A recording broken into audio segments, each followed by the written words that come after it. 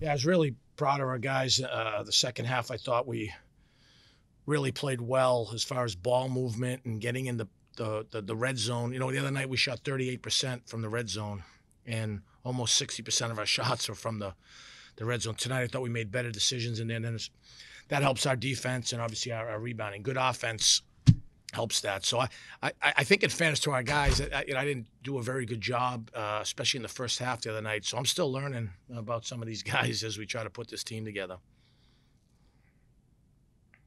How, how difficult was that first half with so many whistles? Really. Yeah, it just it seemed like that the other night too. You know, I mean, uh, you know, I mean, physical. You know, we we try to obviously be physical, and it seemed like a lot of I don't know. There'd be a lot of fines, Matt, if it was in the uh, NBA. A lot of fines on some falling down stuff. You know, you don't want to see guys get penalized for being big and strong. That shouldn't be a disadvantage. Right. Um, the second half, it seemed as though I mentioned the players that when Hicks came in, these guys started pressing.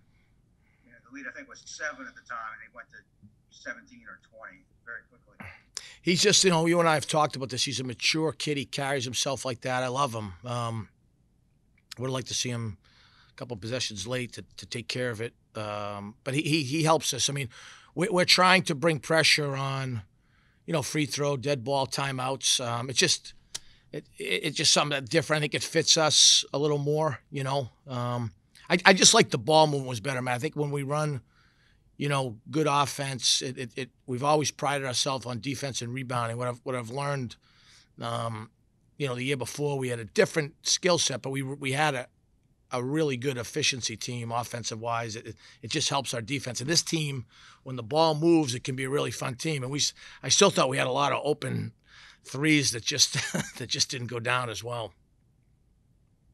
Yeah, seemed like a very not, not the biggest team, but very pesky guards and.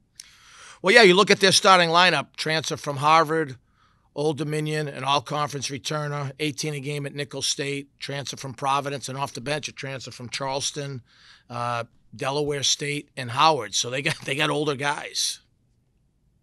It seemed like Nolan and Rizzuto are still trying to find their footing offensively. Yeah, I mean, I think you know, um, and, and, and Tony Antonio's just grinding it out. He's such a tough kid. He's he's uh, he's, he's battling through some injuries, and he's just kind of you know he had a, we had a weren't able to play him for a couple days before Monmouth uh, practice him, so he's he's as tough as they come. I thought Terry was better tonight because he brought energy. He's taking care of the ball. He'll he'll find his shot. I think what Terry needs to continue to realize he can affect the game in many ways other than just putting it in the basket, which which I thought you saw in, in spurts tonight. Uh, how's how's Gray doing?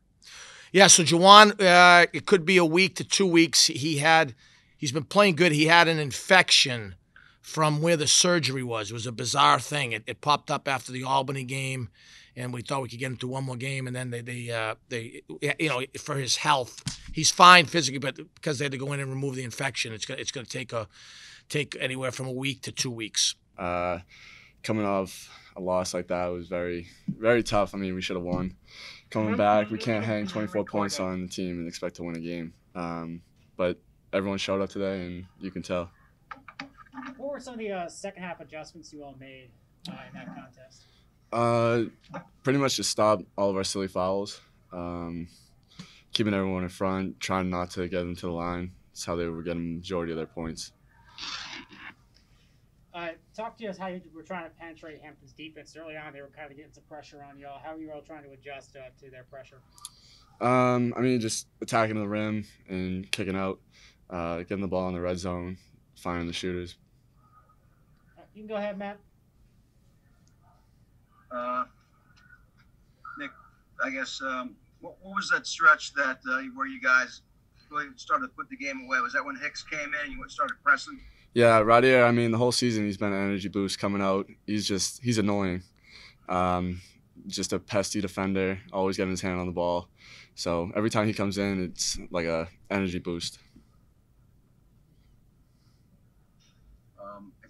Difficult for me to hear. Oh, uh, anyhow, uh, hopefully this is recording it. Um, obviously, first half you guys started off pretty well, but how was it? how difficult was it to play with so many fouls being called? There's no flow in that first half. Yeah, I mean a bunch of stops. Uh, it's partly on us. We really aggressive team. Uh, our practice is like football games, so we gotta learn how to chill out when it comes to the game time. Stop all the free throws, dead balls, all that kind of stuff. I guess Terry had a nice dunk as well, huh? That he did.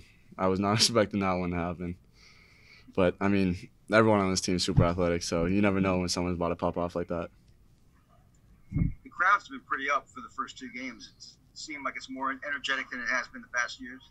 Yeah, definitely. I mean, I've been here for four years now. I'd say these two crowds are probably up there with one of the most energetic crowds I've been around. So hopefully everyone keeps it out during the season because we can definitely feel it on the court. Um, I'm mostly proud about how we bounced back. You know, we got a bunch of older guys, so you know, being able to bounce back from that loss that we really dwelled on. You know, we all went to the locker room and kind of looked around, but you know, we got shook up, but you know, we just short term memory, bounced back, and did what a veteran team would do: come out and give the crowd what they wanted. So I was very proud from as a group standpoint. So.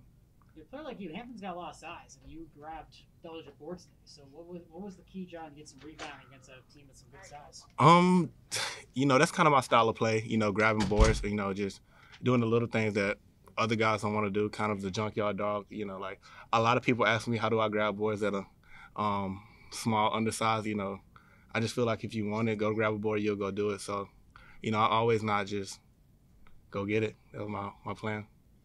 Go ahead, Matt. Yeah, Cam, uh, solid game overall. Uh, I mentioned to Nick about Hicks coming in, si- kind of changing that tempo when you guys started pressing. Was that kind of the big part of the game this early second half? Um, Hicks been great. You know, um, as a freshman, you know, you kind of try to find your way in the rotation.